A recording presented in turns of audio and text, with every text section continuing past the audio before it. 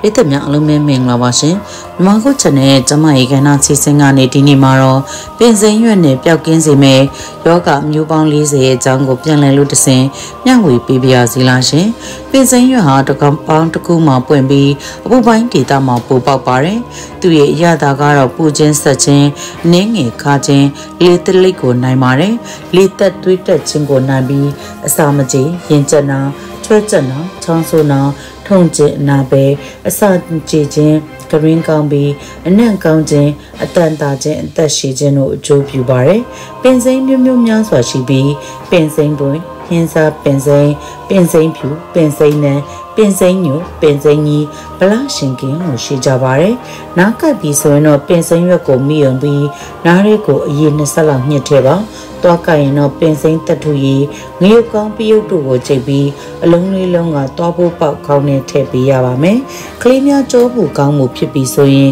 ပင်စိမ့်ရွယ်ကုန်းရွယ်စတူနဲ့ကြက်ကိုစနွေးမုံနှင်းငင်ရောချိန်ပြီးတကူလုံးခပ်ပါပါလိမ့်မှာ။ ခေါင်းတချမ်းကြိုက်သူများတော့ကတော့လက်ဆက်တဲ့ပင်စိမ်းရွက်ရည်ကိုနှစ်ထင်းနဲ့နှစ်ဘူးမှာလိမ့်ပေးတင်ပါတယ်စီးချုပ်စီအောင်အသိရောင်တော့ဖြစ်ရင်နှမ်းစီနဲ့ပင်စိမ်းစိတ်ကိုစတူချိတ်ပြီးထညက်နဲ့တေကစည်းကင်းလောက်လုံးလေးလုံးပြီးနေလမ်းမှာ ထို့သို့စားရင်လက်ကောင်းနဲ့မြင်းတရက်ယောဂါပါပျောက်ကင်းစေပါတယ်။သားသမီးဝေးခြင်းရင်ဥဒုသွေးလာပြီးတဲ့နောက်၃ရက်ကို ပင်စိမ်းရည်လက်တဆုပ်ပြုတ်တော့ပါအဖျားနာရှိနေရင်ပင်စိမ်းရွက်ရည်ကိုမနဲ့စောစောကျွေစွန်းတစွန်းတောက်ပေးပါ။ငှက်ဖျားမှာတော့လက်ဆက်တဲ့ပင်စိမ်းရွက်9ရွယ်ငရုတ်ကောင်းစီအနက်၄စင်းနဲ့တစ်ပတ်နှစ်ကြိမ်လုံးစားတင်ပါတယ်။အရေးပြားပွေးနာရနာဖြစ်ပါက ပင်စိမ်းရွက်နဲ့တံမြာရည်ကိုကြောညက်အောင်ထောင်းပြီးအရွက်နဲ့ပုတ်ပြီးတင်ပါတယ်။အစာမကြေဝင်းပိုက်ဝင်းနာဖြစ်ပါကပင်စိမ်းရွက်ပြုတ်ရည်တောက်ပြီးတင်ပါတယ်။လေချောင်းနာအတန်ဝင်ရင်ပင်စိမ်းစီပင်မွားစီကိုရေးစိမ်ပြီးထိုးရည်ကိုတောက်ပါ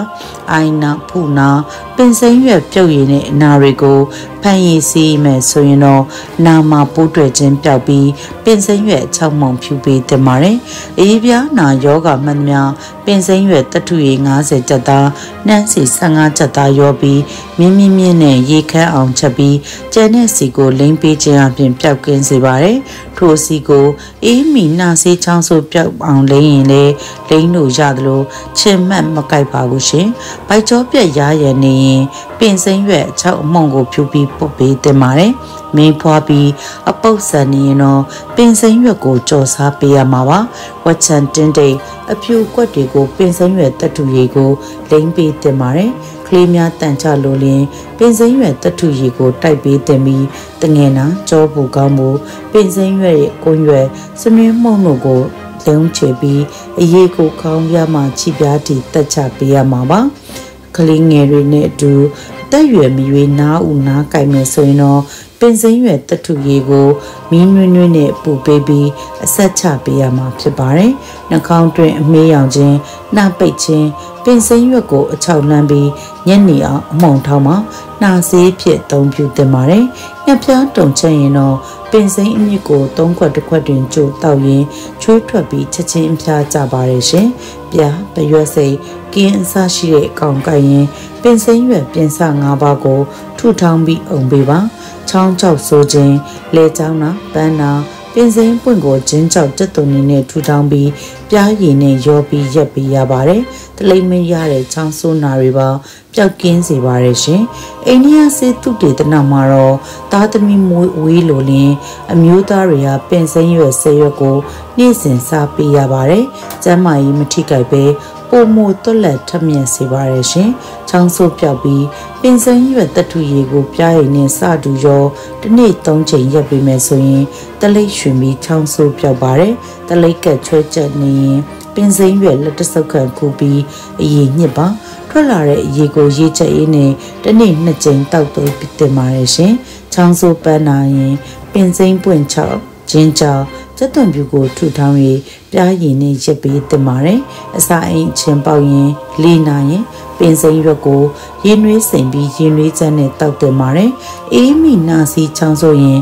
ပင်စိမ်းရွက်အစိုးကိုသုံးခွက်တစ်ခွက်ကြိုပြီးပူပူလေးတောက်တုံးတင်ပါတယ်တုတ်ကွေးပါပျောက်ပါတယ်ရှင်အစာအိမ်ယောဂါတွေလည်းတက်တာစေနိုင်ပြီးအဆုတ်ယောဂါပပန်းတီယောဂ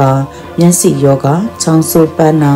မြောက်သားကိုပင်စိမ့်နိုင်နိုင်နဲ့ကြော်စားတင်ပါတယ်ပန်းတီပန်းညို ဝင်းပြက်ဖြစ်မယ်ဆိုရင်တော့ပင်စိမ့်ရွက်ကိုငခုငကြီးဖြစ်စေစိတ်သားခိုသားငပတော်နဲ့ဖြစ်စေကြော်စားတင်ပါတယ်လေငန်းလေးပြက်အစ်စ်ရောင်ရင်ပင်စိမ့်ပြင်စ၅ပါးကိုရင်နှွေးဖြော်ပြီးအငွေ့ရှူပြီးတင်ပါတယ်ရှင်ဝင်နဲ့စိတ်ရှိတဲ့တတ္တဝါကြိုက်ပါက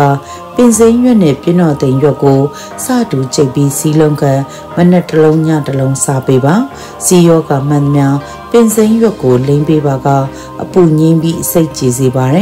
စီယောကသွေးချိတ်ခဲယောကစီးပုတ်ဓာတ်ပုတ်တလိပ်ပုတ်ပါက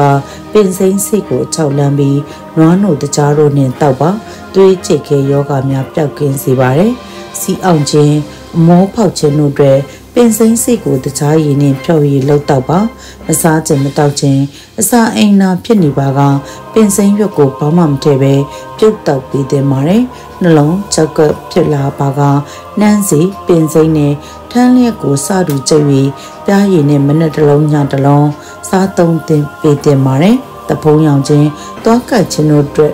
နဲ့တူပွေးဝဲနှင်းကူနာနဲ့ မြင်းတဲ့ယောဂါတွေကိုပါပျောက်ကင်းစေပါတယ်။တကြီးကိုင်တိန်နာနိုးချောင်းပိစီးပူစီးအောင်မှာကငကြီးချောင်းနဲ့ကြော်စားပေးပါ။ ပြီးဖွားပြီးပုတ်ဆန္နာပါပျောက်ပြီးအစာမစီမအော်အန်ခြင်းကိုလည်းပျောက်ကင်းစေနိုင်ပါတယ်ရှင်။ကီမီကောက်ကိုက်မယ်ဆိုရင်လည်းပင်စိမ်းရွက်ကိုကြိတ်ပြီးအုံပေးတင်ပါတယ်။ပင်စိမ်းဟာမြေကြီးပေါ်မှာပေါက်ပြီးဆေးဖြစ်သုံးပြုလို့ရပါတယ်။ပင်စိမ်းမှာဗီတာမင်စီကယ်လ်ဆီယမ်မက်ဂနီဆီယမ်နဲ့တန်တက်တွေပါဝင်ပြီးပင်စိမ်းကနာကျင်ခြင်းကိုလျှော့ချစေနိုင်ပါတယ်။တချို့လူတွေကအာလိုချင်းရည်ဖြစ်အသုံးပြုကြပါတယ်။ ပင်စိမ်းကို အစားအသောက်ပြက်နေရင်လည်းစားသုံးပေးတင်ပြီးတန်ကောင်းထခြင်းတွေအတွက်အသုံးပြုကြပါတယ်။မြို့သမီးချိုးက ပင်စိမ်းကိုကလေးမမွေးမီနဲ့မွေးပြီးမှသွေးစင်မှုအတွက်သွေးသားတန့်စင်နိုင်ရင်နှုတ်ထွက်ကောင်းစီရင်အသုံးပြုကြပါတယ်။အရက်ဖြတ်ရန်အတွက်ပင်စိမ်းတထုရည်ကိုတကြားနဲ့ဖြော်ပြီးလက်ဖက်ရည်ချမ်းကွက်နဲ့တစ်နေ့တစ်ခွက်တောက်သုံးပေးတင်ပါတယ်ရှင်။ပင်စိမ်းသုံးပြုခြင်းအတွက်တတိထားမယ့်အရာကတော့ပင်စိမ်းစီတွေကခွဲစိတ်မှုတွေပြီးမှသွေးတက်မှုကိုပိုမြင့်မားစေပါတယ်။စီစဉ်ထားတဲ့ခွဲစိတ်မှုမစခင်အနည်းဆုံးနှစ်ပတ်လောက်ကြိုပြီးပင်စိမ်းသုံးပြုခြင်းကိုရပ်တန့်တင်ပါတယ်။ပင်စိမ်းရွက်များကိုသာအသုံးပြုသင့်ပြီးပင်စိမ်းကိုအချိန်ကြာကြီးအသုံးမပြုသင့်ပါဘူး။သူကမျိုးရိုးပီစာပြောင်းလဲမှုကိုဖြစ်ပေါ်စေပါတယ်။ပင်စိမ်းရွက်ကိုအေးမြပြီး၆သွေးတဲ့နေရာမှာထားသင့်ပြီးအပူနဲ့ရင်ငွေးရိုက်ခြင်းကိုရှောင်ရှားစေနိုင်ပါတယ်ရှင်။ ပရိသတ်များရှင်ယနေ့တင်ဆက်ပေးခဲ့တဲ့အကြောင်းအရာကိုပြီးဆုံးသည့်ဒီအချိန်ပေးပြီးနားဆင်ကြည့်ရှုပေးခဲ့ကြတဲ့ပရိသတ်တူချင်းစီတိုင်းကိုလည်းကျေးဇူးအများကြီးတင်ပါတယ်လို့ပြောရင်းနှုတ်ဆက်လိုက်ပါရရှင်ပရိသတ်များအားလုံးပဲတာပျော်ရွှင်ပွဲကောင်းတဲ့ဘဝတွေကိုပိုင်ဆိုင်နိုင်ကြပါစေရှင်